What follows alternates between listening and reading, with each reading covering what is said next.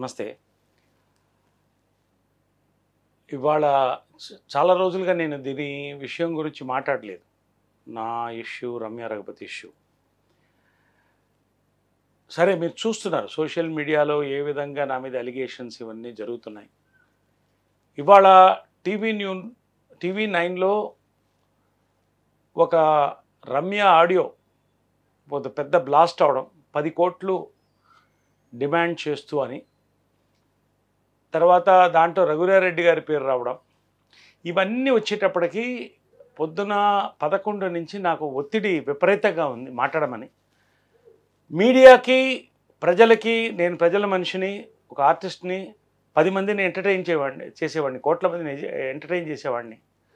నా గురించి నేను చెప్పుకోకర్లే మూడు తరాలుగా సినిమాలో ఉన్నాం. మా కుటుంబానికి ఇవ్వడం తప్ప తీసుకోవడం తెలీదు. మేము ఎప్పుడు మా సినిమాలు మా సర్వీసు అంతవరకే మేము. ఎవరి పర్సనల్ లైఫ్స్ వాళ్ళకు ఉంటాయి ప్రతి ఇంట్లో ఒక పర్సనల్ లైఫ్ ఉంటుంది. సరే ఇప్పుడు ఇంతవరకు వచ్చింది కాబట్టి నేను ఇంతవరకు మాట్లాడలేదు. గత నెల రోజులుగా కృష్ణ గారు డెత్ దగ్గర నుంచి కూడా రకరకాలటువంటి వీడియోస్ కానీ మాట్లాడాలు కానీ నా మీద అలిగేషన్స్ కానీ హోరెత్తిపోయి నన్ను మాట్లాడమంటే కూడా నేను మాట్లాడలేదు. ఎందుకంటే నేను మాట్లాడితే కుండ బద్దలు కొట్టినట్టు మాట్లాడతాను. ఎందుకంటే నేను చేతులు ఊపుకుంటూ ఎవరిలా మాట్లాడను విత్ ఫ్యాక్ట్స్ మాట్లాడతాను. విత్ డాక్యుమెంట్స్ అండ్ ప్రూఫ్స్ మాట్లాడతాను. నాకున్న పేరు అది ఇవాళ నా పేరు కానీ నా ఫ్యామిలీ పేరు ప్రొటెక్ట్ చేయాల్సిన బాధ్యత ఒక ఆర్టిస్ట్గా ఒక పౌరుడిగా ఒక పబ్లిక్ ఫిగర్గా నాకు ఉంది కాబట్టి ఇవాళ ఇంత ఇష్యూ బ్లాస్ట్ అయ్యి నాకు ఫోన్లు వస్తున్నాయి కాబట్టి ఇవాళ మీడియాకి నేను కొన్ని విషయాలు నేను చెప్పదలుచుకున్నాను. రమ్య రఘుపతి నాకు పెళ్ళై కూడా దాదాపు పన్నెండు సంవత్సరాలు అవుతుంది. ఫ్యాక్ట్ చెప్పాలంటే మా మదర్ దగ్గర అసిస్టెంట్ డైరెక్టర్గా చేరి అలా నాకు ఫ్రెండ్స్ అయ్యి అప్పట్లో నాకు డైవర్స్ అయ్యి దూరంగా ఉన్నాను నేను చాలా దూరంగా ఉన్నాను వీటన్నిటి. దాదాపు సన్యాసత్వం తీసుకునే పరిస్థితిలో ఉన్నాను. సోషల్ వర్క్లో ఉన్నాను. ఆ టైంలో పరిచయం కావడం పరిచయం అవుతూ సింపతిని పెంచుకోవడం. ఒకానొకప్పుడు నాకు నేను డయాబెటిక్ని నన్ను ఎవరు పెళ్ళి చేసుకోరు. నాకు ఇలాంటి జబ్బులు ఉన్నాయి అలాంటి జబ్బులు ఉన్నాయి నన్ను ఎవరు పెళ్ళి చేసుకోరు. ఒక బిడ్డని నేను ఇంగ్లాండ్లోనో లండన్లోనో వాళ్ళ అంకుల్ ఎవరో ఉన్నారు డాక్టర్ వాళ్ళ దగ్గరికి వెళ్ళి ఆర్టిఫిషియల్ ఇన్సెమినేషన్ చేసుకుని నేను ఏదో టెస్ట్ ట్యూబ్ బేబీ చేసుకొస్తానన్నప్పుడు మంచి ఫ్యామిలీ నుంచి వచ్చిన అమ్మాయి చాలా జాలేసి నేనే ఆఫర్ ఇచ్చాను. నీకు ఇంట్రెస్ట్ ఉంటే నేను పెళ్ళి చేసుకుంటాను లైఫ్ పాడు చేసుకోవద్దని. అప్పటిదాకా నాకు అర్థం కాలేదు ట్రాప్లో పడ్డానని. కానీ మేము ఎస్ మేమిద్దరం కలిసి లవ్ చేసుకున్నాం కలిసి తిరిగాము. మా అమ్మ ముఖ్యంగా ఏంటంటే నాకు తోడు లేదు ఎంతో దిగులుగా ఉన్నప్పుడు సరే ఒక జాయింట్ ఫ్యామిలీ నుంచి ఒక అమ్మాయి వచ్చింది. ఈ అమ్మాయిని నువ్వు ఇంట్రెస్ట్ ఉంటే పెళ్ళి చేసుకో నేను మాట్లాడతానని వాళ్ళు ముందుకు వచ్చి లేకపోతే పెళ్ళి అంత త్వరగా కూడా జరిగి ఉండదు అంత తొందర పడి ఉండను నేను. ఈ ట్రాప్లో పడి ఉండను అది నేను చెప్పేది. నేను అంతకంటే మాట్లాడదాసుకోను కరెక్ట్గా ఇది ఇవన్నీ కాదా అని చెప్పానండి. కరెక్ట్గా పెళ్ళవడానికి పెళ్ళి ఫిక్స్ అయిన తర్వాత ముహూర్తం ఫిక్స్ అయిన తర్వాత బెంగళూరులో ఒక పబ్లో రాత్రి ఈ అమ్మాయికి ఆల్రెడీ నిశ్చితార్థం అయ్యి ఫిక్స్ అయిన విడిపోయినటువంటి ఒక ఎక్స్ ఫియాన్సీ ఫుల్గా తాగి ఉన్నారు ఇద్దరు.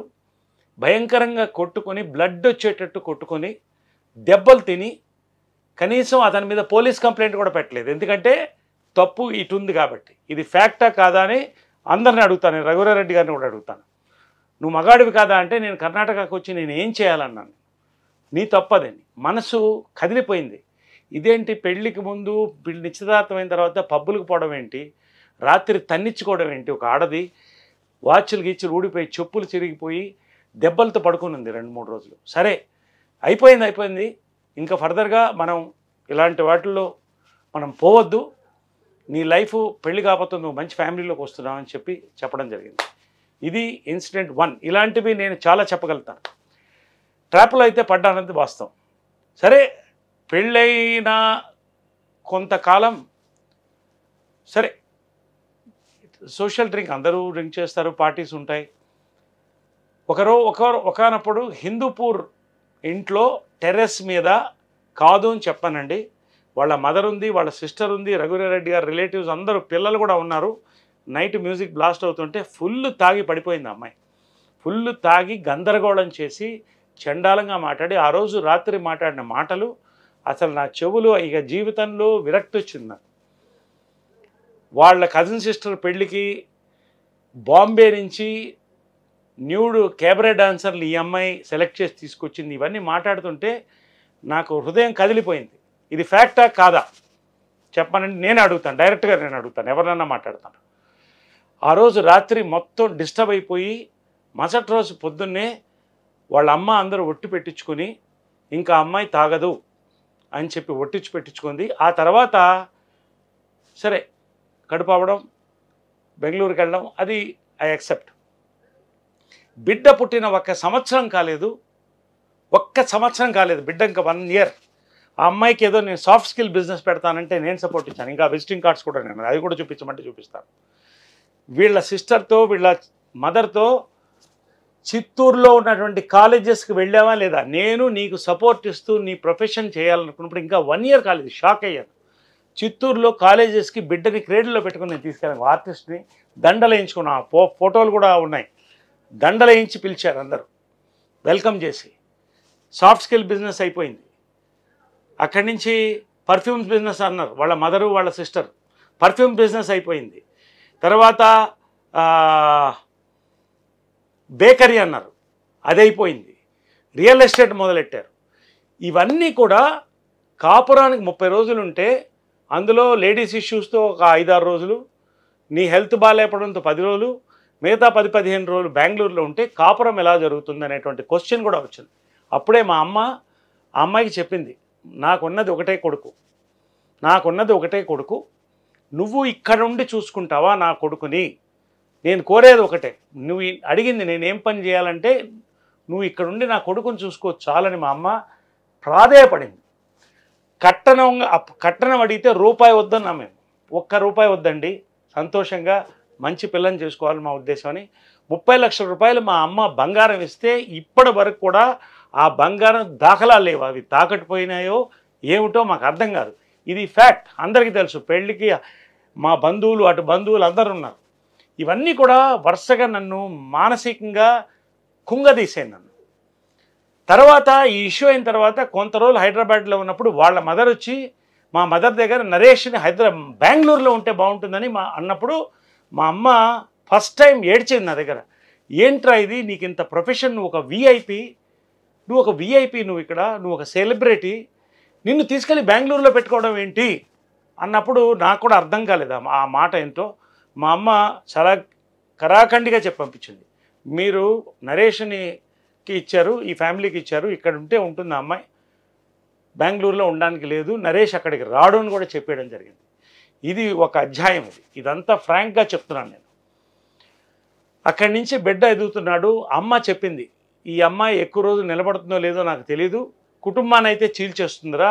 డబ్బుల మీద బాగా వ్యామోహం ఉంది ఈ అమ్మాయికి. జాగ్రత్తగా ఉండని చెప్పడం జరిగింది. చాలా జాగ్రత్తగా ఉండు. విడిపోవద్దు డైవర్స్కి పోవద్దు. చిన్న బిడ్డ ఉన్నాడని ఒకటే దాంట్లో మేము ఆగాం. ఆ తర్వాత ఆ అమ్మాయి రెండో బిడ్డను అడగడం జరిగింది. రెండో బిడ్డ ఒక బిడ్డనే నువ్వు సరిగా చూసుకోవట్లేదు. ఒక సంవత్సరం రెండు సంవత్సరాలు కాలేదు ఇంకా ఇంత లోపల రెండో బిడ్డ నీకు ఎందుకుని అడిగితే నా చొక్కా పట్టుకోవడం జరిగింది. నన్ను ఫిజికల్ అబ్యూస్ చేయడం జరిగింది. ఇవన్నీ ఎందుకు చెప్తున్నానంటే ఏదో ఫేస్బుక్లో అలా వచ్చింది ఇది ఇలా వచ్చింది మాట్లాడడం కాదు. ఇది ఫ్యాక్ట్స్. తర్వాత ఒకనొకప్పుడు వాళ్ళ ఫ్రెండ్ రివీల్ చేసింది నాకేంటంటే రెండు విషయాలు. ఫ్రెండ్ పేరు నేను ఇప్పుడు చెప్పదలుచుకోలేదు. అవసరమైతే వాళ్ళని కూడా తీసుకొస్తాను నేను. వాళ్ళ ఓన్ ఫ్రెండ్స్ నన్ను నన్ను మా మీద జాలిపడి చాలాసార్లు భోజనం లేకుండా పడుకున్నాను నేను. రాత్రి లేటుగా వచ్చి నాకు భోజనం ఎక్కడుందంటే ఏ జమానాలో ఉన్నావు నీకు? పెళ్ళం వడ్డించాలనేటువంటి ఆలోచన అంటే ఫస్ట్ కూడా పడుకున్న రోజులు కొన్ని ఉన్నాయి. వాళ్ళ ఫ్రెండు తర్వాత ఒక పాయింట్ వచ్చి ఇదంతా డిస్టర్బెన్స్ బాగా అవుతున్నప్పుడు రెండు పాయింట్లు చెప్పింది అమ్మాయి. ఒకటి రెండో బిడ్డకి కారణం ఏంటంటే నాకు ఆల్రెడీ ఇద్దరు కొడుకులు ఉన్నారు. ఇంకొక బిడ్డను కలిస్తే ఆస్తిలో యాభై శాతం వాటా వస్తుందనేటువంటి దురుద్దేశంతో ప్లాండ్గా తన దాంతోపాటు వాళ్ళ ఫ్యామిలీయా నాకు తెలియదు నాకు తెలిసినంత వరకు డైరెక్ట్గా తను ఇన్వాల్వ్ అయింది. ఫిఫ్టీ పర్సెంట్ ఆస్తి వస్తుందంటే ఆ రోజుతో నేను మొత్తం షాక్లో ఉండిపోయాను నేను. రెండో పాయింట్ ఆ అమ్మాయి చెప్పిందంటే ఎందుకు బెంగళూరుకి వెళుతుంది అనుకుంటున్నాం నా ఫిజికల్ నీడ్స్ నాకు కావాలి. శారీరక సుఖం కోసం నేను వెళుతున్నానని చెప్తే నువ్వేమీ చేయట్లేదా అమ్మాయి అని అడిగడం జరిగింది. అంతా I'm a healthy man I'm healthy man అమ్మాయి తోడు కోసం అని చెప్పలే. శారీరక సుఖం అంటే for I need my I have my physical needs అంటే ఆ రోజుతోనే నేను పిలిచి చెప్పడం జరిగింది. ఈ రెండు పాయింట్స్ చెప్తున్నాను. ఒకటి డబ్బు రెండోది ఆ అమ్మాయి లైఫ్ స్టైల్ తర్వాత నేను చెప్పడం జరిగింది క్లియర్గా అమ్మాయికి. నువ్వు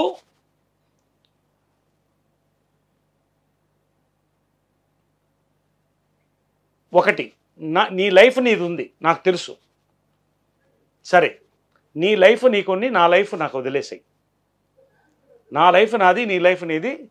బిడ్డని డిస్టర్బ్ చేయొద్దని కూడా చెప్పడం జరిగింది. దానికి యాక్సెప్టెన్స్ అవ్వడం వల్లే ఎన్ని సంవత్సరాలు గడిచింది ఎన్ని సంవత్సరాలు గడిచింది కానీ ఎంత క్రిమినల్ ప్లాన్ అంటే ఒక సీనియర్ ఐపీఎస్ ఆఫీసర్ తర్వాత నేను ఆ పేరు కూడా ఫ్యూచర్లో రివీల్ చేస్తాను.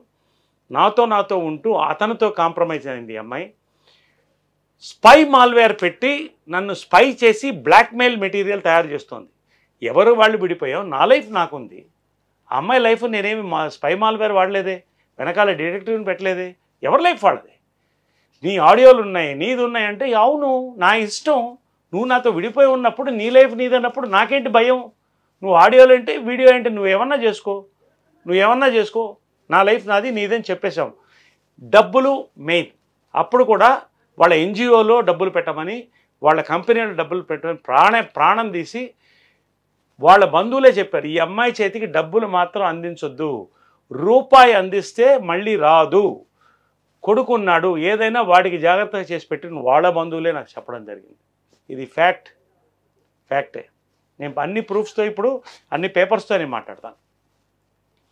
అక్కడి నుంచి మాకు మాకు సంబంధం లేదు. నా లైఫ్ నాది. నేను ఏమన్నా చేసుకోవచ్చు.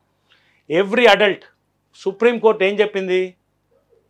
ఇద్దరు పడినప్పుడు టూ ఇయర్స్ విడిపోయి ఉంటే డివోర్స్ అనేది ఇట్ ఈజ్ ఆటోమేటిక్ అని చెప్పడం జరిగింది. నేను శారీరక సుఖం కోసం పోలే. నాకు ఒక తోడు కావాలి. నాకు ఒక లైఫ్ కావాలి. ఒక ఒంటరితనం ఒక డిప్రెషన్లో పెడుతున్నా. నా మీద పెద్ద రెస్పాన్సిబిలిటీస్ ఉన్నాయి. ఇంతమంది ఫ్యామిలీ ఉన్నారు. ఆ టైంలో మా అమ్మ చనిపోయింది. నేను పవిత్ర విషయం ఒకటే మాట్లాడుతున్నాను. నేను పవిత్ర మా ఎలక్షన్స్లో కలిసి పనిచేసాం కలిసి తిరుగుతున్నాం కలిసి ఉన్నాం. ఏంటి దాంట్లో భయం? రెడ్ హ్యాండెడ్ ఎక్కడ దొరికేది లేదు.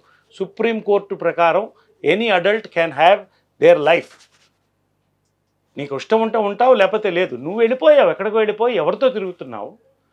ఆ తర్వాత ఇవన్నీ జరుగుతూ ఉన్నాయి. నా లైఫ్ నేను చూసుకుంటూ వెళ్ళిపోయాను. మా అమ్మ కూడా అదే చెప్పింది. మా అమ్మ చనిపోయింది. మా అమ్మ చనిపోయింది.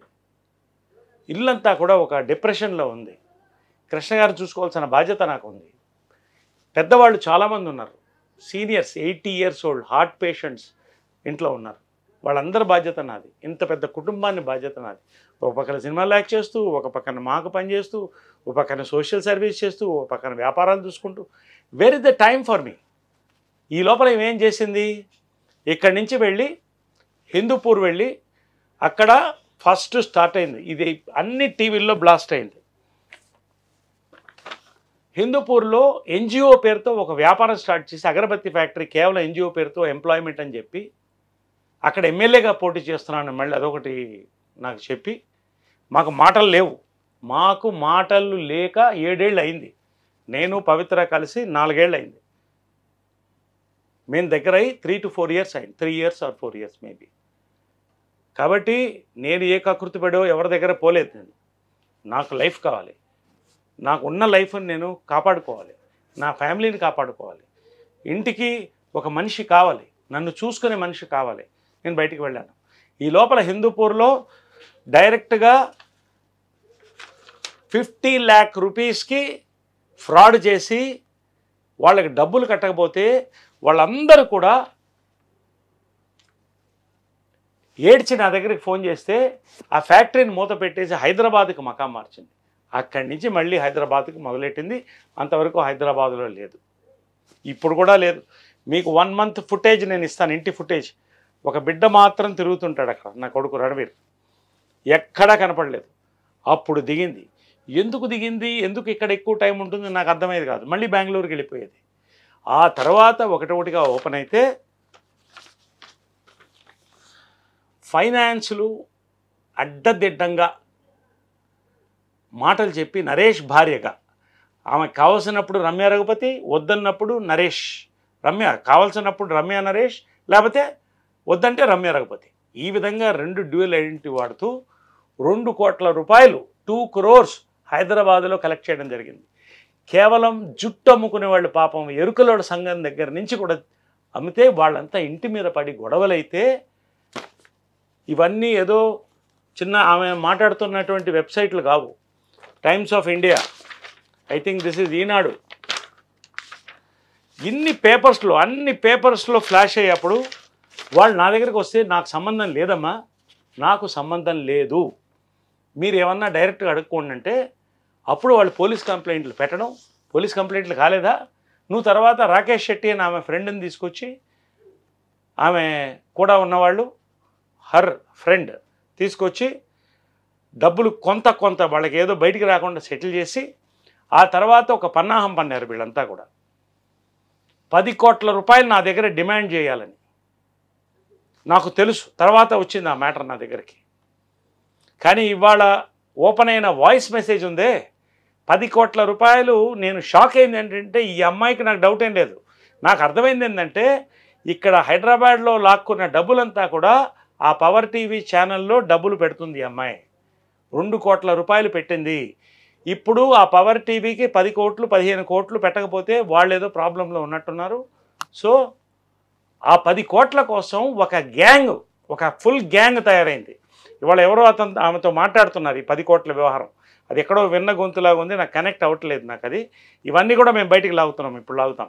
నేను షాక్ అయ్యాను పొద్దున ఈ కోర్టుది ఇవన్నీ ఎలా వచ్చాయి బయటికి? అది కూడా మీకు ప్రూఫ్ ఇస్తాను నేను. I will talk with proof ఇవి ప్రూఫ్ ఫైనాన్స్ ఇవి ప్రూఫ్ ఎంతమంది మెసేజ్లు దన్నాలు పెట్టి మా డబ్బులు మాకు ఇచ్చండి మా మా బ్రదర్లాగా మీరైన లేడీస్ విడోస్ ఎంతోమంది కూడా ఇలా బెగ్ చేసి నన్ను ఈ పాపం ఏడిస్తే నేను మీరు పోలీస్ కంప్లైంట్ ఇచ్చుకోండి అమ్మా ఏమన్నా ఉంటే నేను మాట్లాడి చేస్తానని నేను చేయలేనంటే కృష్ణ గారి దగ్గరికి వెళ్ళి ఫిఫ్టీ ల్యాక్ రూపీస్ కావాలని చెప్పి ప్రెజర్ పెడితే ఆ పెద్ద మనిషి కంట తేడి పెట్టడం జరిగింది. ఆ తర్వాతే పెద్దలందరూ కూడా నిర్ణయించి ఈమె అన్నింది మొన్న ఏదో నేను ఫోర్జరీ చేశానని. నేను ఫోర్జరీ చేసి ఉంటే ఇది పెద్దవాళ్ళందరి సంతకం. రవికుమార్ మా మేనమామ పెద్ద ఆయన కృష్ణ గారు నా సంతకం. ఇంట్లో వాళ్ళందరూ కలిసి ఇలా ఉంటే డేంజరు. తర్వాత సంబంధం లేకుండా నా మీద పవిత్ర నేను అసలు ఆ ఇంట్లో ఉండటం లేదు ఇప్పుడు. నా మీద పవిత్ర మీద డొమెస్టిక్ వైలెన్స్ కేసు పెట్టావా లేదా? అసలు నేను అక్కడ లేకపోతే నేను అక్కడ లే ఇది కాదు. డొమెస్టిక్ వైలెన్స్ కేసు ఏంటి? డొమెస్టిక్ వైలెన్స్ కేసు పెట్టావా లేదా నా మీద? నేను ఏం డొమెస్టిక్ వైలెన్స్ చేశాను? కేవలం నన్ను బ్లాక్మెయిల్ చేసి బెదిరించి ఈ డబ్బులు లాగడానికి తప్ప వేరే ఆ ఇంట్లోంచి కదలనంటే అర్థం ఏంటంటే నువ్వు ఉండద్దు నేను ఆక్రమిస్తాను నేను డబ్బులు ఇచ్చినప్పుడు బయటికి పోతాననేది ఆమె డిమాండ్. దానికి కౌంటర్ కూడా పెట్టడం జరిగింది. కోర్టు ఆ యొక్క వాళ్ళ పెటిషన్ని కూడా కొట్టేయడం జరిగింది. అసలు నేను అక్కడ లేకపోతే నా దగ్గర నుంచి పవిత్ర దగ్గర నుంచి నీకు ఎక్కడ ఎలా డొమెస్టిక్ వైలెన్స్ కేసు వస్తుందని అడుగుతున్నాను నేను. ఐఎమ్ రెడీ మీరు రండి. వన్ మంత్ ఫుటేజ్ ఇస్తాను ఇంటిది. ఎక్కడన్నా కలిసి ఉందా చూడండి. ఎప్పటిది కావాలంటే అప్పుడు. ఇలాగ రకరకాలుగా ఫ్యామిలీని హ్యారెస్ చేస్తుంటే కృష్ణ గారు అందరు పెద్దలందరూ కలిసి మీరు అమ్మాయి ఇక్కడ ఉంటే మంచిది కాదు. ఆ అమ్మాయికి మంచి స్థలాన్ని ఒకటి ఇవ్వు మంచి ఫ్లాట్ని ఒకటి ఇవ్వు. అమ్మాయిని అక్కడ ఉండమను. ఈ హ్యారస్మెంట్ మేము భరించలేకపోతే వంటిల్లు ఆక్రమించి చేసి తనకు కావాల్సినవి వండుకొని వాళ్ళ సిస్టర్ ఇంటికి పట్టుకుపోవడం. టైంకి పెద్దవాళ్ళకి భోజనం పెట్టాలి వంట వాళ్ళని బెదిరించడం. కేవలం ఒక భీకరం సృష్టించి చివరికి ఫోర్జరీ కేసు నేను పెడతానా? నా జన్మలో నా జన్మలో అలాంటి పనులు నువ్వు పెడతావు అలాంటివి చేస్తా ఉన్నావు. నేను ఒకటే అడుగుతున్నాను. ఎవరినన్నా అడుగుతున్నాను. ఈ యొక్క కేసు మేము పెట్టింది ఎప్పుడు?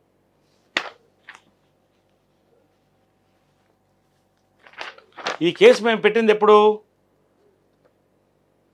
సెప్టెంబర్లో పెట్టాము. సెప్టెంబర్లో పెద్ద ఆయన బతికే ఉన్నాడు. అందరం కలిసే ఉన్నాము. ఎవరు వాళ్ళు అందరు అక్కడ ఉన్నారు. మరి ఈ కేసు సెప్టెంబర్లో పెట్టినప్పుడు ఆయన చనిపోయిందంతా ఇంకా టూ మంత్స్ కాలేదు. మరి అప్పుడే ఎందుకు చెప్పలేదు ఫోర్జరీ అని అంటే నీ నోటికి వచ్చినట్టు అబద్ధాలు మాట్లాడతావా? నీ నోటికి వచ్చినట్టు మాట్లాడతావా? ఎవరు? ఎవరు ఎవరిని? ఎవరిని లాగుతున్నావు దీంట్లో? ఎవరు నోటికి వచ్చేట్టు అబద్ధాలు మాట్లాడతావా? కృష్ణ గారు ఆయన పార్థివ దేహం ఉంటే మూడు రాత్రులు మాకెవరికి నిద్ర లేదు. హాస్పిటల్ చుట్టూ తిరుగుతున్నాం. అన్ని వీడియోలు ఉన్నాయి. అన్నిట్లో ఉన్నాయి. హాస్పిటల్ చుట్టూ తిరుగుతున్నాం. నిద్ర లేదు. రెండోది ఆ రోజు వేల మంది జనం. నాలుగో రోజు పొద్దున్నుంచి జనాన్ని తీసుకెళ్ళడం లోపలికి రావడం బయటికి రావడం ముఖ్యమంత్రుల దగ్గర నుంచి అందరూ వచ్చారు. కేవలం ప్రెస్ వచ్చేదానికి పది నిమిషాల ముందు ఈ అమ్మాయి వచ్చింది అక్కడికి. అంతవరకు అక్కడ లేదు. అప్పటి వరకు కనీసం పెద్ద వాళ్ళ పెద్ద మనుషులు నేను చెప్పాను ఫోన్ చేసి వాళ్ళ బాలు అని వాళ్ళ చిన్నాయన ఉన్నాడు. ఏదో మీరు సెటిల్ చేసుకోండి అనవసరంగా అమ్మాయి పాడు చేసుకుంటుంది లైఫ్ అన్ని రాంగ్ కనెక్షన్స్ పెట్టుకుంటుందంటే ఐ ఓవియో కాల్ అన్నాడు. ఒక మనిషి మాట్లాడడానికి ఒక ఫ్యామిలీ నుంచి వచ్చారా మీరు? అంటే బ్యాక్గ్రౌండ్లో మీరంతా ఉన్నారా? అమ్మాయి చెప్పినట్టు మీరు చెప్పాలి. ఆ రోజు పొద్దునే వాళ్ళ సిస్టర్ సిగ్గు లేకుండా వాళ్ళ సిస్టరు వాళ్ళ బాబాయ్ బాలు వచ్చి పళ్ళిక్కిలిచ్చుకుంటూ అక్కడ నిలబడతారు వాళ్ళు. ఏం మనుషులయ్యా మీరు? ఏం ఫ్యామిలీ అయ్యా మీది? చిచి! ఆ రోజు వచ్చారా లేదా? మరి వచ్చినప్పుడు అంతకుముందు ఈ ఈ- ఈ సంవత్సరంగా జరుగుతోంది కదా మరి కూర్చొని ఏదో సెటిల్ చే ఉంటాం కలిసి ఉంటాం లేకపోతే విడిపోతాం. ఇదేమన్నా బలవంతపు ఇదా? ఉండాలని రూల్ ఏమన్నా ఉందా? ఏం మాట్లాడుతున్నారయ్యా మీరు? కృష్ణ గారు పార్థివ దేహం నాలుగు రోజులు నిద్రపోలేదు నాలుగో రోజు పడిపోతుంటే అందరు వెళ్ళి పడుకోండి అంటే పది గంటలకో పదిన్నరకో అక్కడి నుంచి అందరు జనం వెళ్ళిపోయిన తర్వాత అందరికీ భోజనాలు పెట్టి వెళ్ళి పడుకుంటే దయ్యంలాగా అర్ధరాత్రి పన్నెండు గంటలకి వీడియోలు తీస్తావా? డెడ్ బాడీని పెట్టుకుని వీడియోలు తీస్తావా? నీ ఫ్రెండ్స్ చేతులు ఊపుతారు? వెనకాల ఆ వీడియోలు ఉన్నాయి. సోషల్ మీడియాలో ఎనీబడి క్యాన్ చెక్. ఒక ఎస్కర్షన్కి వచ్చినట్టు చేతులు ఊపుతారా? మనస్సు కదిలిపోయింది. ఏం తప్పు చేశాం మేము? అంటే కేవలం ఇంకా నన్ను హింస పెట్టి నన్ను కిందకి లాగి నీ పది కోట్లు తీసుకుందామని కదా? తప్పు. ఫోర్జరీలు మాకు అలవాటు ఉండవు. మేమేమైనా డైరెక్ట్గా మాట్లాడతాం. పేపర్లతో మాట్లాడతాం మేము. నోరు తెరిస్తే అబద్ధాలు. నేను ఇప్పుడు చెప్తున్నాను. వాళ్ళ చెల్లెల పెళ్ళికి నేను కూర్చున్నాను పెద్ద మనిషిగా. వాళ్ళ ఫ్రెండ్స్ ఫోన్ చేసి పాపం వాళ్ళ వియంకులు ఒక్క రూపాయి కూడా కట్టనలుగా తీసుకోలేదు. ఒక్క రూపాయి కూడా తీసుకోలేదు. మంచివాళ్ళు వాళ్ళు. వీళ్ళ ఫ్రెండ్స్కి ఫోన్ చేసి నాకు డబ్బులు కావాలి నాకు డబ్బులు కావాలి డబ్బులు ఇవ్వండి నాకు కట్నానికి వేధిస్తున్నారు మా మా చెల్లెలు వాళ్ళ వియంకులు వాళ్ళు అంటే వాళ్ళు నాకు ఫోన్ చేస్తే షాక్ అయ్యాను. ఎందుకంటే నాకు తెలుసు ఒక్క రూపాయి వాళ్ళు తీసుకోలేదు. నేను వాళ్ళ గురించి వాళ్ళ పేర్ల గురించి మాట్లాడదలుచుకోలేదు. వన్ రూపీ తీసుకోలేదు. ఇదంతా కూడా ఒక జబ్బు. డాక్టర్ రమణారావు గారు ఆ అమ్మాయిని అప్పుడే చెప్పారు you have to consult a psychiatrist. అని. ఇప్పుడు కాదు ఫైవ్ సిక్స్ ఇయర్స్ బ్యాక్. నేను రిక్వెస్ట్ చేశాం కానీ వినలేదు. She's not in a sound mind.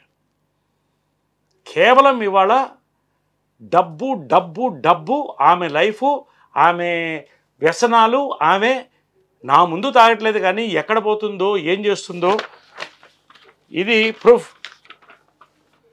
రాత్రులు ఇలా సూట్ కేసు వేసుకుని బయట కార్లు బయట ఆగి ఉంటాయి. ఇది ఆమె కాదా అని చెప్పానండి మా ఇంటి సీసీ కెమెరాలో తీసింది ఇది. ఇలా సూట్ కేసులు ఎప్పటి ఎప్పుడు అర్ధరాత్రి ఎవడొస్తాడో ఎవడితో వెళ్ళిపోతుందో తెలియదు బిడ్డను వదిలేసి వెళ్ళిపోతుంది. ఒక్కోసారి బస్సులో వేసి తీసుకెళ్తుంది. వాడు స్కూల్ ఇక్కడ ఉంది కాబట్టి వాడిని బలవంతాన్ని పెట్టి వాడు ఒకసారి నేను ఇది చూపించదలుచుకోలేదు కానీ బారేసి చూపిస్తున్నాను నేను. ఫ్రాక్చర్ అయింది వాడి చేతులు. వాడిని వదిలేసి వాడు ఒక అనాథలాగా ఇంత వాడికి నా బిడ్డకి నేను ఏం చేయాలో నేను చేస్తాను. నీకు ఒక రూపాయి ఇవ్వను నువ్వు ఏమైనా నేను చాలా మొండివాడిని ఇది ప్రూఫ్ ఇది నువ్వా కాదా? చెప్పు. ఇంట్లో నుంచి బయటకు వెళుతున్నా రాత్రి బయట కారు ఆగి ఉంది సూట్ కేసు వెళుతుంది రమ్య రఘుపతి నువ్వా కాదా? నేను డైరెక్ట్గా నేను అడుగుతున్నా. ఇలా ఒక హీనమైన క్యారెక్టర్ నేను అనకూడదు. నాకు బాధగా ఉంది ఇవన్నీ ఒక మహిళ గురించి చెప్పడానికి.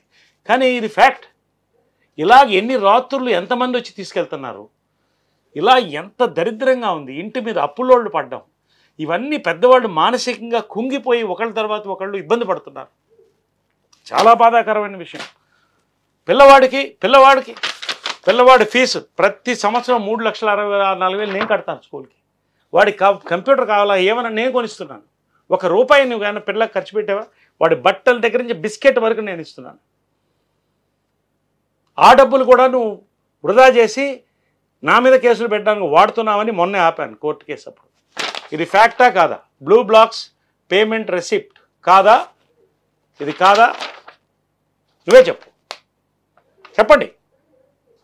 పిల్లవాడిని నా బిడ్డవాడు నా కొడుకు నా వారసుడు వాడు. డైవోర్స్ కేసు నేను పెట్టి కూడా ఎప్పుడైంది? దాదాపు సంవత్సరం అవుతుంది ఇది. కోర్టులో ఇంకా జడ్జి లేరు లేట్ అవుతుంది. పిల్లోడి కస్టడీ పిల్లోడి లైఫ్ వాడు అబద్ధాలు చెప్పడం సేమ్ అలాగా అబద్ధాలు చెప్పడం మొదలెడితే చైల్డ్ కస్టడీ కూడా కేవలం నేను నా సంతోషానికి బిడ్డను అంత వదిలిపోదామని కాదు. This is custody of child case నా బిడ్డని కాపాడుకోవడానికి. నా వారసుడు వాడు. కేవలం నా డబ్బుకు కాదు మా లెగసీకి వారసుడు వాడు. వాడిని కాపాడుకోవడానికి చైల్డ్ కస్టడీ పెట్టడం జరిగింది. నా డైవర్స్ తర్వాత అయితే పర్వాలేదు. చైల్డ్ కస్ట్ చైల్డ్ కస్టడీ నాకు ముందు ఇవ్వండి అని చెప్పి నేను రిక్వెస్ట్ చేస్తున్నాను నేను. ఇవన్నీ కూడా నేను భరిస్తూ ఎన్ని కేసులు? Domestic violence case. Maintenance case సరే అది. ఇలాగా రకరకాల కేసులు మా మీద ఫైస్ చేయడం. తర్వాత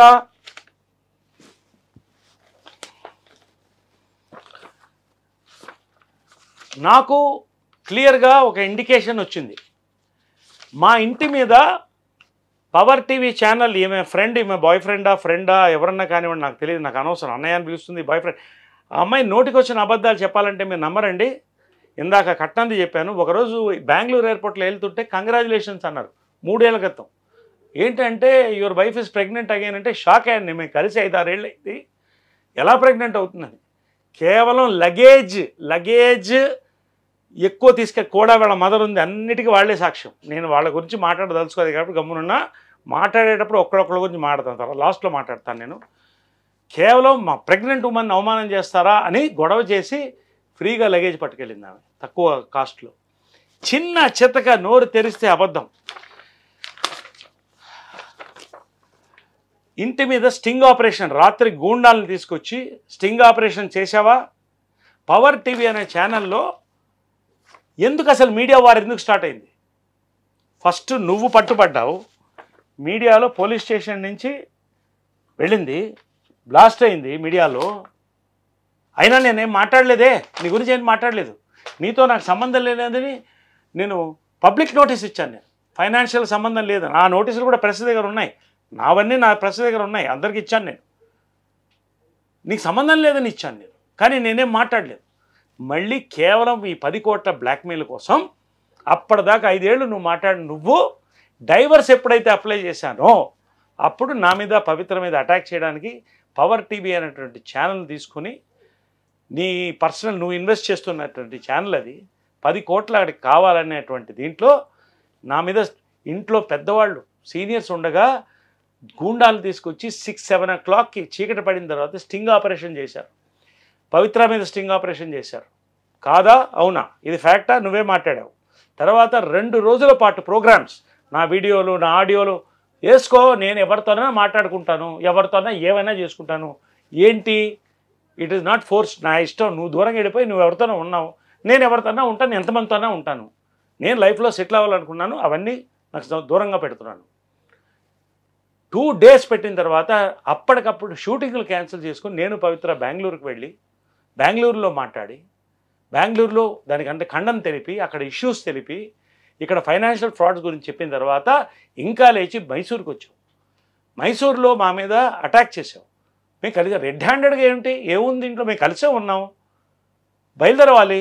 నైట్ లేట్ అయింది. హోటల్లో ఉన్నాం. నువ్వు అదే హోటల్లో నీ ఫ్రెండ్తో ఉన్నావు. రూమ్ ఉంది అక్కడ. లేకపోతే నీకు హోటల్లో ఎంట్రీ లేదని నువ్వే చెప్పావు. అదే రూమ్లో రాత్రి మీ ఇద్దరు కలిసి ఉన్నారు. ఒకటే రూమ్లో. అవన్నీ కరెక్ట్. కాకపోతే మా మీద వచ్చి అటాక్ చేసి జనాలు చేయాలంటే పోలీసు వచ్చి మాకు రక్షణ ఇచ్చి పోవాల్సిన పరిస్థితి దీన్ని ఒక పెద్ద ఇచ్చేసావు ఏమైంది? మాకేం కాలేదు. ఏమీ కాదు. గుండె ధైర్యం ఉంది కాన్షియన్స్ ఉంది లైఫ్ బతకాలని నాకు ఆశ ఉంది. కానీ నువ్వు రాంగ్ హ్యాండ్స్లో పోతున్నావు. ఇవాళ నీ ఆడియో లీక్ ఎక్కడి నుంచి వచ్చింది? మీ మనుషుల దగ్గర నుంచే వచ్చి ఉంటుంది. కోర్టులో గుమస్తాలకి నువ్వు బ్రైబ్ ఇస్తుంటే మా లాయర్లు పట్టుకొని ఫోటోలు తీసి అది కూడా జడ్జి కంప్లైంట్ ఇస్తే గుమస్తాల్ని తీసేయడం జరిగింది ట్రాన్స్ఫర్ చేయడం జరిగింది. ఇది వాస్తవం కాదా? ఈ కోర్టు నుంచి ఎలా వెళ్ళి ఉంటుంది? నువ్వు లోడ్ లోడిన డాక్యుమెంట్స్ ఎక్కడో బయటకు వెళ్ళింది. You are from the beginning in wrong company you are still in wrong company your life will go to dogs నీ మంచిగా చెప్తున్నాను నా బిడ్డ మంచి కోసం చెప్తున్నాను. ఒక్కటి కాదు నీతో. నాకు ఎప్పుడైతే స్టింగ్ ఆపరేషన్లు జరిగి మనుషులు అటాక్ చేయడం మొదలెట్టారో నాకు ఒక ఇన్ఫర్మేషన్ వచ్చింది. వీళ్ళు నన్ను చంపడానికైనా సిద్ధపడతారన్నప్పుడే నేను డైవర్స్ కేసు పెట్టడం జరిగింది. నా ప్రాణ భయం కోసం నేను డైవర్స్ పెట్టడం జరిగింది. నా ప్రాణ భయం కోసం నేను డైవర్స్ కేసు పెట్టాను. ఎందుకంటే కలిసి ఉంటే నువ్వు నా విషయం పెట్టి కూడా చంపేయచ్చు. ఒక్క నిమిషం. ఎవరు కంప్లైంట్ చేస్తారు? నువ్వే కంప్లైంట్ చేయకపోతే? నాకు తెలుసు. కుక్స్ దగ్గర నుంచి అందరినీ బీహార్ నుంచి ఒకళ్ళ కుక్కుని తీసుకొచ్చి పెట్టావు ఒక వారం రోజులు తీసేయాల్సి వచ్చింది. వాళ్ళు ఎవరో కూడా నాకు తెలుసు. నీ ప్లాన్ ఏంటో మాకు తెలుసు. మమ్మల్ని చంపేయాలని. నేను చచ్చిపోతే ఎవరిస్తారు కంప్లైంట్? నరేష్ చచ్చిపోతే కంప్లైంట్ ఎవరు ఇవ్వాలి భార్య ఇవ్వాలి. ఎవరు ఇవ్వరు ఇంకా? సో ఇవ్వకపోతే నీకు హ్యాపీ కదా? మొత్తం వందల కోట్ల ఆస్తి వస్తుంది కదా. ఎంత సిగ్గుచేటు ఎంత డేంజరస్ ఆ అమ్మాయి మెచ్చుకుంటూ చెప్తుంది మా రఘురచన చెప్పేవాడు నేను క్రిమినల్ మైండ్ అని ఆమె చెప్పేది. మరి అది ఏంటో నాకు అర్థమే కాలేదు. రఘురెడ్డి గారు చెప్పాలి మరి. నేను క్రిమినల్ క్రిమినల్ అని చెప్తారని రఘురెడ్డి గారు చెప్తారని చెప్పేది. అంటే she feels proud to be a criminal she involved with criminal తీసుకోమనండి పోలీసులు చెక్ చేయమనండి. ఆ అమ్మాయి డేటాలో రెడ్లో రాకపోతే అడగండి. మీరు చెప్పమనండి. నేను రక్షణ కోసం పోలీస్ స్టేషన్లో మూడు నెలల క్రితం పెట్టాను నేను. Request for protection. ఎటువంటి ప్రొటెక్షన్ నాకు రాలేదు. ఒక విఐపి ఒక సెలబ్రిటీ ఇంత పరిస్థితి జరుగుతుంటే మరి అక్కడ ఏం ఇన్ఫ్లుయెన్స్ చేస్తుందో ఎవరు ఇన్ఫ్లుయెన్స్ చేయదు ఇప్పుడు మాట్లాడను. నెక్స్ట్ మాట్లాడతాను నేను. అవసరమైతే దీని తర్వాత నేను మాట్లాడదలుచుకోలేదు ఇప్పట్లో. She has used lot of people for lot of things for wrong things and going bad in life నా కొడుకు జీవితాన్ని నాశనం చేస్తుంది మా ఫ్యామిలీ జీవితాన్ని నాశనం చేస్తుంది. లాస్ట్ నేను ఒకటే అడుగుతున్నాను నేను. నువ్వు నాతో కలిసి ఉన్నానంటున్నావు కదా ఇది నా పాస్పోర్ట్. ఇది నా పాస్పోర్ట్. ఇప్పుడున్న అడ్రస్. మేము పెళ్ళై ఎన్నేళ్ళైంది? నీ ప్రకారం పన్నెండేళ్ళు. పెళ్ళై ఎన్నేళ్ళైంది? భార్యగా ఎవరి పేరుంది ఇక్కడ? రేఖా నరేష్. నా ఎక్స్ వైఫ్ పేరు ఇక్కడ భార్యగా ఉంది. ఒక చిన్న సాఫ్ట్వేర్ ఎంప్లాయీ కూడా కనీసం భార్య పిల్లల్ని తీసుకుని శ్రీలంక దాకా పోతాడు కదా. మరి నువ్వు ఎక్కడ నాతో లేవే? పన్నెండేళ్ళుగా ఒక్కసారి కూడా నేను ఎక్కడ తీసుకోలేదా? డబ్బులు లేవా నాకు? నువ్వు ఎక్కడున్నావు తీసుకోవడానికి? జఫాగాళ్ళకు కూడా అర్థమవుతుంది ఇది. బుద్ధి జ్ఞానం లేని వాళ్ళకు కూడా అర్థమవుతుంది. తన పేరు నా పాస్పోర్ట్లో లేదు. That is she is not with me as per Supreme Court also రెండేళ్ళు దూరం ఉంటే విడిపోమని చెప్పారు. అసలు పాస్పోర్ట్లోనే నీ పేరు లేదు. దిస్ ఇస్ ద ప్రూఫ్ నేనేం నీలాగా చేతులు పెంచుకొని మాట్లాడలా నీ మూడ సెపరెంట్ ఏంటి? చిన్న ఛానల్స్ని పట్టుకుంటాం నీ వెనకాల రఘురారెడ్డి గారు ఉన్నారని చెప్పుకుంటూ తిరుగుతున్నావు నువ్వు. ఓ పక్క నుంచి ఒక మా బ్లాక్మెయిల్ గ్యాంగ్ అని పెట్టుకున్నావు. వాళ్ళు కూడా నాతో మాట్లాడారు. కొంతమంది వాళ్ళ పేర్లు కూడా చెప్తాను మీకు. వాళ్ళ పేర్లు కూడా త్వరలో చెప్తాను. అవసరమైతే చెప్తాను. పేరు ఒక్కొక్క పేరు. పోలీస్ ఆఫీసర్తో తిరిగే ఒక వ్యక్తి కూడా ఉన్నాడు దాంట్లో. అతను బ్రోకర్ వీటన్నిటికీ. ఒక బ్లాక్మెయిల్ గ్యాంగ్. ఇక్కడ బెంగళూరులో ఒక మాఫియా గ్యాంగ్ తయారు చేసుకుంది. ఒకటే టార్గెట్ ఎయిదర్ డబ్బులు నా దగ్గర లాగడం లేదా నన్ను చంపేయడం. ఇది మ్యాటర్. నేను ఎందుకు ఇవన్నీ చెప్తున్నానంటే ఒక్కసారి మీరు గూగుల్ ఓపెన్ చేయండి. ఒక్కసారి ఈ అమ్మాయి కేసు తప్ప నా మీద రమ్య రఘుపతి కేసు తప్ప నా మీద ఎక్కడన్నా నెగిటివ్ ఏ గూగుల్లో అయినా ఏ మోస్ట్ నాన్ కాంట్రవర్షియల్ పర్సన్ ఏమన్నా ఉంటే ఫైట్ చేస్తాను. మా కోసమో లేకపోతే ఒక పార్టీ కోసమో ఒక దీనికోసం చేస్తాను. కానీ నేను ఎప్పుడు స్వలాభాల కోసం నేను పోరాడలా. నా సినిమాలు చాలు నాకు. నేను అమ్మ ఫుడ్ తింట్లా. మీ అబ్బ సొమ్ము కాదు. నా కష్టార్జితం. నా పిల్లలకి మా అమ్మ అందించింది అందిస్తాను నా కష్టార్జితాన్ని నేను ఎంజాయ్ చేస్తాను. నువ్వేం చేస్తున్నావు? రూపాయి లేదు నీ దగ్గర. అడుక్కు తింటున్నావు. బ్లాక్మెయిల్ చేస్తున్నావు. ఇదా. దీన్ని మీ ఫ్యామిలీ సపోర్ట్ చేస్తున్నారా? చిచి ఇప్పటికి కూడా నాకు సరిగ్గా నమ్మకం కలగట్లేదు. నేను డైరెక్ట్గా ఒకటే చెప్తున్నాను. ఇక్కడతో నేను చెప్పేది ఆపేస్తున్నాను. ఇంకా చాలా ఉన్నాయి చెప్పడానికి. నువ్వు రఘురారెడ్డి గారి గురించి ఏం మాట్లాడో వాడు ఫ్యామిలీ గురించి ఏంటి మాట్లాడో భార్య గురించి? ఆయన గురించి? ఆయనకు ఐఏఎస్ ఆఫీసర్స్తో ఉన్న ఇష్యూస్ గురించి? అదే తర్వాత ఆయన కూతురు గురించి? ఇంకా మీ బాబాయిల గురించి చిన్నాయల గురించి ఒక్కొక్కళ్ళ పేరు పేరున నేను ఒక బయట తీసి మొత్తం వన్ అవర్ సోషల్ మీడియాలో వదులుతాను. I don't want to do that. నాకు స్వభా స్వభమానం ఉంది. ఆ నా నాకు నా యొక్క నా మీద నమ్మకం ఉంది. ఆత్మగౌరవం ఉంది. మర్యాద ఉంది అందరంటే. కాబట్టి ఇప్పటికైనా ఒకటే చెప్తున్నా. మ్యాటర్ కోర్టులో ఉంది. క్లియర్ చేసుకోండి. ఎందుకు? నీ ఫ్యామిలీకి హింస పెట్టి నా ఫ్యామిలీకి హింస పెట్టి నన్ను పెట్టి నువ్వు పడి నాకేం హింస లేదు. I'm a warrior I will keep fighting you are the loser కోర్టులో ఉంది. తేల్చుకుందాం. కోర్టు ఏ నిర్ణయంతో పోదాం. నువ్వు గనక మళ్ళీ మీడియా ఎక్కి లైవ్ బ్లాక్ బ్లైవ్ వైట్ బ్లాక్ అని మొదలెడితే నెక్స్ట్ నేను కెమెరా ముందు కూర్చుంటే మొత్తం మీ ఫ్యామిలీ గురించి కూడా నేను మాట్లాడతాను. నేను ఇది బ్లాక్మెయిల్ కాదు ఇది. ఓపెన్గా మాట్లాడతాను. ఎందుకంటే నువ్వు నా గురించి మాట్లాడావు. ఫ్యామిలీ గురించి మాట్లాడావు. మా ఫ్యామిలీ గురించి మాట్లాడావు. అందరి గురించి రకరకాలుగా పెంట పెంట చేస్తున్నాను. I'm telling you kindly refrain from media media will burn you there is I'm very clear దీని తర్వాత నువ్వు పెడితే మాత్రం నేను బట్ట బయలుగా నేను వచ్చి అన్ని మొత్తం కూర్చుని వన్ అవర్ వీడియో రిలీజ్ చేస్తాను. నువ్వు ఎవరెవరి గురించి ఏం మాట్లాడావు? వాళ్ళు ఏంటి పరిస్థితి ఇప్పుడు? వాళ్ళు ఎన్ని లిక్కర్ ఫ్యాక్టరీలు పోయినాయి? ఎంత నష్టాల్లో ఉన్నారు? ఏంటి? ఇవన్నీ మాట్లాడతాను. వద్దు. కాబట్టి కైండ్లీ నేను ఒకటే రిక్వెస్ట్ చేస్తున్నాను రమ్య రఘుపతి గారు. లెటర్స్ బీ ఫ్రెండ్స్ లెటర్స్ మనం కలిసి ఉండలేము. నా లైఫ్ నాది. మొన్న వీడియో కూడా థర్టీ పర్సెంట్ ఎందుకు రిలీజ్ చేశాను? వద్దు నేను చెప్పేదలుచుకున్నాను ఎందుకు నాకు భయం ఎందుకు? లాయర్స్ విత్ మీ కాబట్టి let us refrain from going to the media ఇది లాస్ట్ కానివ్వండి. దీని తర్వాత నేను దీని గురించి ఎక్కువ మాట్లాడదలుచుకోలే. Don't go to these YouTube channels అక్కడ మాట్లాడి అక్కడి నుంచి మూడో ఆపరేంటి లేపడం మళ్ళీ కర్ణాటకలో దిగడం అక్కడ లేపడం అక్కడి నుంచి సపోర్ట్ తీసుకోవడం. నీది ఒక్క రూపాయి రాదు ఒక రూపాయి కూడా రాదు. నా బిడ్డకి ఇస్తాను. నా బిడ్డకి నువ్వు మీ ఫ్యామిలీ మొత్తం కలిపితే ఎంతో అంతకంటే ఎక్కువ డబ్బులు ఇస్తాను. I can do it kindly leave us alone as a friend as ex husband నేను చెప్తున్నాను దయచేసి దీంతో ఇది